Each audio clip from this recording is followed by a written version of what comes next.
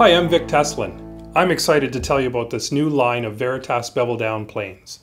These planes offer a level of customization never seen before.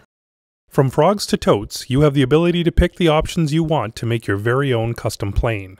This is the first video in a series of three that will help you make the decisions required to get exactly what you need out of your new bevel down plane.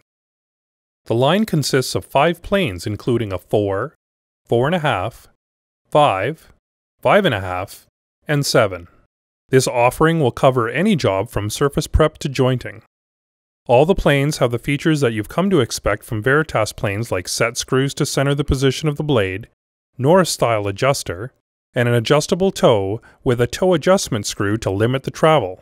There is also a set of holes in the side of the plane to facilitate the use of a shop-made fence or one of Veritas's fences. There are three different torrefied maple knob types to choose from, the wide knob, the Veritas standard knob, and the tall knob. Choosing a knob is a combination of method of work and personal preference.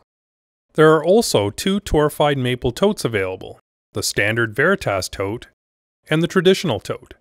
Both of these totes are available in small, medium, and large sizes, and like the knobs, you can choose a tote based on both your method of work and personal preference. Three frog angles including 40, 45, and 55 degrees cover most bench plane tasks from working on end grain to highly figured woods, if you would like a custom angled frog, you can order any frog you'd like between 40 degrees and 65 degrees for a surcharge. You also have your choice of O1 or PMV steel for your cutting iron. Finally, the versatility of a bevel up plane with the feel of a bevel down, not to mention more options for customization than ever before.